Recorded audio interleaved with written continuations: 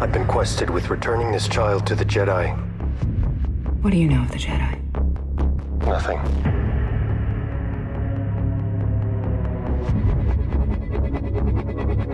This child is extremely gifted and has been blessed with rare properties that have the potential to bring order back to the galaxy.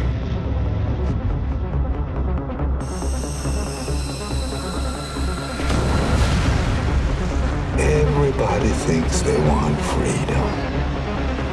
But what they really want is order.